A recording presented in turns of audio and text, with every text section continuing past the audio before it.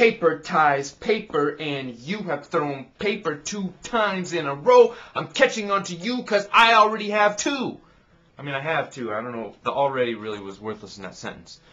Listen, the point is, you've thrown Barack paper paper now, which is kind of cool, kind of weird. Uh, you won the first throw with your Barack, but other than that, we've tied with our papers. I'm not going to throw paper next round, just to let you know.